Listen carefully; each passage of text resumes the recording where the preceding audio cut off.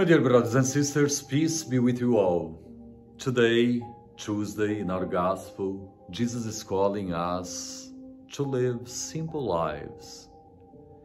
And he asks us to not be like the Pharisees and the scribes. They love being the center of attention. They love applauses. They try to impress people with a lot of theories. They memorize different things they try to prove and to show that they know everything, that they are the best in everything. And Jesus is saying, don't be like them. And unfortunately, we have a lot of people just like those in our world today.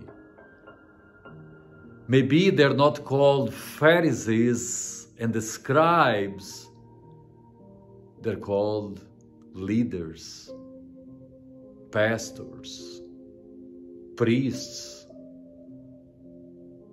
Yes, instead of bringing and pointing people to God, they try to bring people to themselves.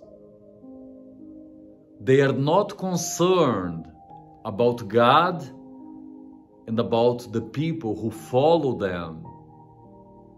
Their main concern, their bank account, how many books they're going to sell, what kind of car they will be driving,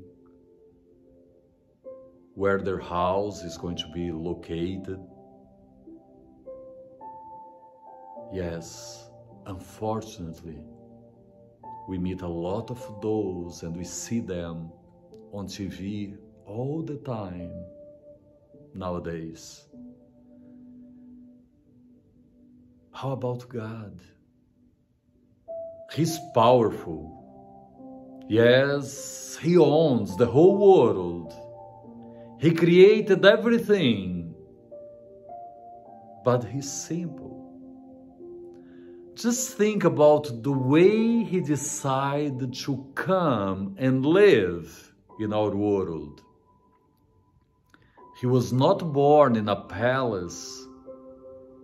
He was born simple, poor. As he grew up, he didn't have a lot. And then later on, in his ministry, he didn't have soldiers and others to protect him. He had apostles, simple people like him. He had poor people trying to find some hope. Some of them trying to find a reason to live. And they found a lot of things in Jesus. And Jesus was very short in his speeches, but he lived every word he preached. His main preaching was if you want to be one of mine, pick up your cross, come and follow me. And yes, even on that, he gave us the example. On that Friday, he was misjudged, he was condemned, and yes, a painful cross was put on his shoulders. He embraced that. He walked through the streets of Jerusalem being humiliated.